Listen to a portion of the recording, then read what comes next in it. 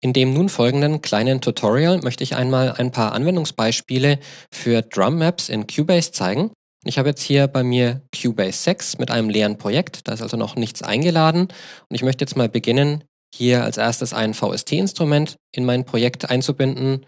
Mit F11 rufe ich die VST-Instrumente auf und da suche ich mir jetzt mal ein relativ spezielles VST-Instrument und zwar VPS Metrum. Das ist ein Plugin spezialisiert auf Kickdrums. Wenn ich den jetzt hier mal reinlade, fragt er mich, ob eine Spur dafür erzeugt werden soll. Ich bestätige das. Eine Spur brauche ich ja auf jeden Fall.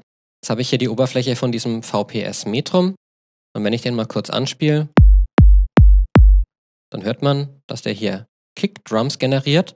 Und hier im vordersten Feld Library habe ich auch schon eine ganze Menge Kickdrums zur Auswahl. Wenn ich die nur einmal anklicke, kann ich mich da ein bisschen durchhören. Und ich möchte jetzt mal aus der Kategorie Pure OSC Kicks was verwenden. Also reine durch einen Oszillator erzeugte Kicks ohne weiteres Sample-Material, was hier gelayert ist. Und dann nehme ich jetzt hier mal die aller, aller einfachste hier ganz vorne in der Liste. Per Doppelklick wird die ausgewählt und jetzt kann ich sie hier spielen. Und mit dieser Kick als Ausgangsbasis möchte ich mir jetzt hier mal ein einfaches Drum-Pattern erstellen.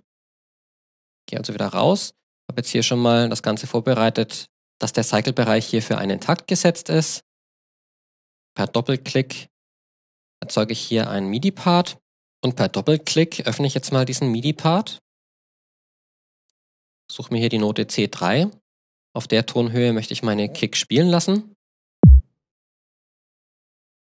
Wenn hier akustisches Feedback aktiviert ist, höre ich das auch, wenn ich jetzt hier eine Note eintrage. Ich habe jetzt hier auch den Zeichenstift ausgewählt als Werkzeug. Und jetzt setze ich mir mal mein Pattern, so wie ich das haben möchte. Damit ich mir da ein bisschen leichter tue, werde ich jetzt hier den Cycle-Bereich verwenden. Der ist hier oben schon aktiviert. Lass das also mal im Cycle spielen.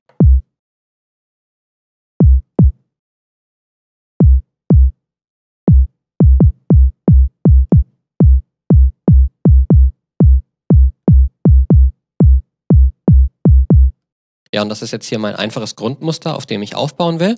Allerdings möchte ich an dieser und an dieser Zählzeit jetzt eine Snare haben. Da entferne ich also die Noten wieder. Und jetzt habe ich ein bisschen das Problem, wenn ich jetzt hier zusätzlich eine Snare haben möchte, dann müsste ich die ja zumindest in dem allerersten Anlauf in einer zweiten Spur erstellen, denn diese Spur ist ja mit dem VPS Metrum verbunden, also mit diesem Kick Drum Synthesizer. Und um jetzt hier eben eine Snare zu spielen, bräuchte ich eben ein anderes Instrument, an die die Noten für die Snare dann gesendet werden sollen. Das könnte ich eben in einer neuen MIDI-Spur machen. Das hat natürlich auch schon bei zwei Sounds den Nachteil, dass ich die nicht mehr gemeinsam in einem MIDI-Part editieren kann. Kommen jetzt noch weitere Drum-Elemente dazu, die ich aneinander ausrichten möchte, dann müsste ich vielleicht drei, vier, fünf oder mehr Spuren machen und das wäre eigentlich schon ziemlich unpraktisch. Schöner wäre es, ich könnte die Snare jetzt hier auch mit in diesem MIDI-Part eintragen und die Note dann einfach an ein anderes Instrument senden. Und das geht tatsächlich über Drum Maps. Als erstes möchte ich jetzt mal ein neues VST-Instrument einbinden, also über F11, VST-Instrumentenliste. Da nehme ich jetzt mal den Zeta plus 2 ich brauche jetzt hier keine neue MIDI-Spur für dieses Instrument. Hier suche ich mir mal einen Snare-Sound raus. Den kann ich natürlich jederzeit später dann verändern und modifizieren. Von mir aus der hier. Als Ausgangsbasis auf jeden Fall okay. So, und jetzt muss ich hier für diese Spur eine Drum Map einrichten. Dazu muss ich den Spurkopf hier vorne mal ein bisschen vergrößern, bis ich hier die benötigten Schaltflächen sehe. Und zwar brauche ich jetzt hier diese Schaltfläche mit diesem Drumstick. Wenn ich da mit der Maus drüber gehe, wird mir auch angezeigt Drum Map. Da klicke ich dann mal drauf und gehe hier in die Drum Map Einstellungen. Und standardmäßig sieht man jetzt hier diese General MIDI Drum Map. Mit der möchte ich jetzt hier aber nicht arbeiten. Ich mache mir über Funktionen eine neue Drum Map. Die ist jetzt noch ganz leer. Damit ich die hier aus dem Editor schon mal anspielen kann, kann ich jetzt hier unten einen Ausgang wählen. Momentan geht das an den Metrum. Wenn ich jetzt hier vorne in die erste Spalte mal reinklicke vor der Note,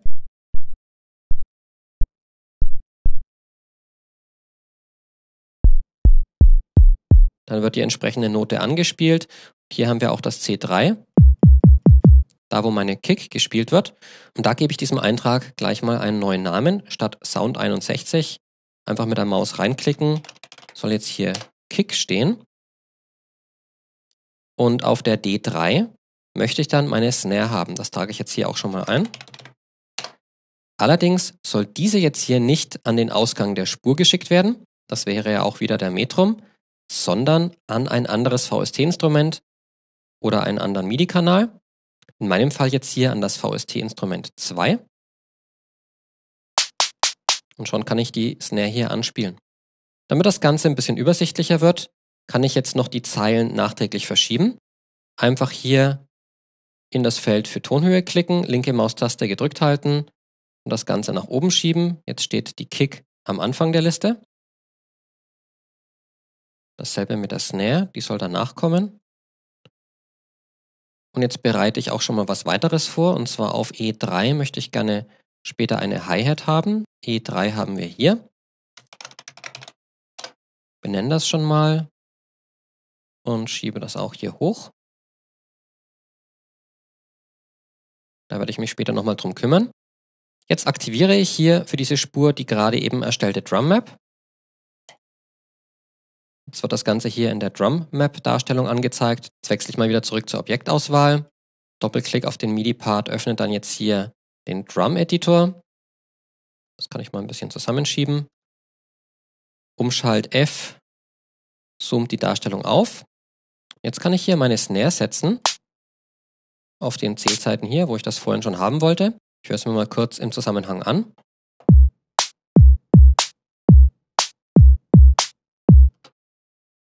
Ja, und das ist natürlich ein großer Vorteil, vor allem dann, wenn man jetzt hier kein spezielles Instrument für Drums verwendet, wie zum Beispiel Battery, wo man ja so Einzelsounds auch auf jeweilige Noten legen kann und einzeln rausrouten. Wenn man das eben nicht hat, wenn man das nicht möchte, wenn man hier einzelne Instrumente für jeden Sound verwenden möchte, dann gibt es eben die Möglichkeit, hier so eine Drum Map zu nutzen.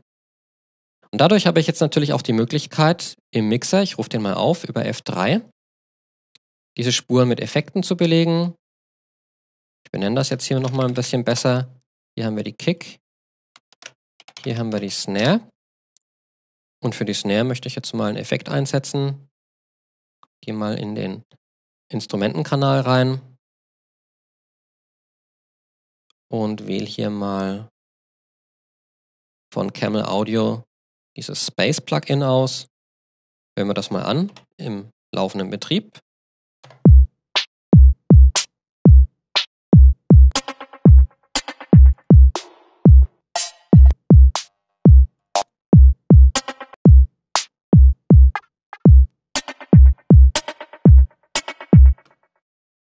Ja, und mit diesem Effekt möchte ich das jetzt hier mal belegen.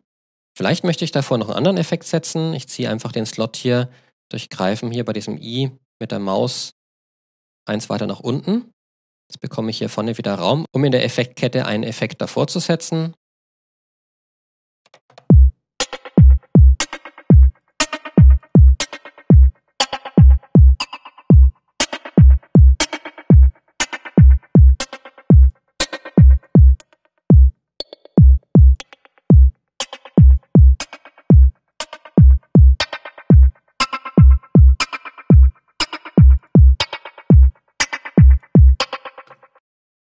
Ja, so könnte ich das jetzt beispielsweise gestalten. Wie gesagt, möchte ich jetzt noch ein weiteres VST-Instrument hinzuholen. Über F11 rufe ich mir nochmal die Liste auf und nehme jetzt nochmals den Zeta plus 2. Brauche keine neue MIDI-Spur. Und hier suche ich mir auch mal wieder eine Hi-Hat.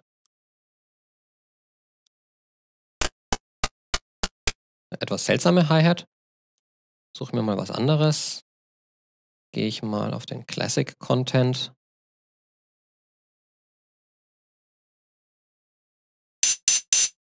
Relativ einfache Hi-Hat. Und die möchte ich jetzt auf der E3 haben. Gehe also direkt hier mal per Doppelklick in den MIDI-Part rein. Da öffnet sich die Drum Map-Darstellung. Und jetzt kann ich hier auch direkt in dieser Ansicht der Note E3 ein anderes Ziel zuweisen. In dem Fall jetzt hier mein VST-Instrument 3. Und da mache ich es jetzt mal ganz, ganz simpel. Ich ziehe hier einfach eine Linie. Es ist ein Sechzehntel als Raster eingestellt. Dann habe ich hier sowas.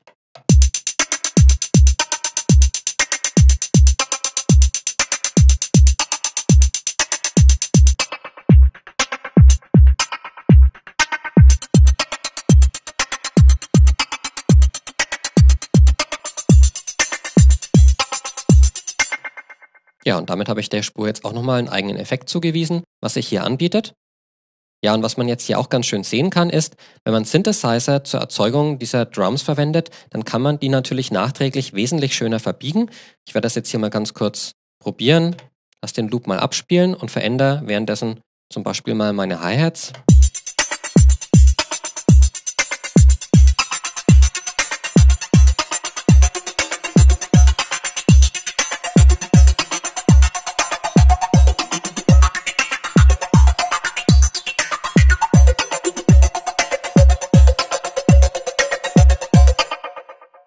Ja, nur mal so als Beispiel. Das wäre jetzt hier eine ganz einfache Anwendung für Drum Maps. Ein kleines weiteres Beispiel werde ich jetzt hier noch in einer Extra-Lektion zeigen. Außerdem gibt es natürlich ganz viel Informationen zu diesen Editoren und auch zum Arbeiten mit Drum Maps auf unserem Lernkurs Hands on Cubase Volume 2.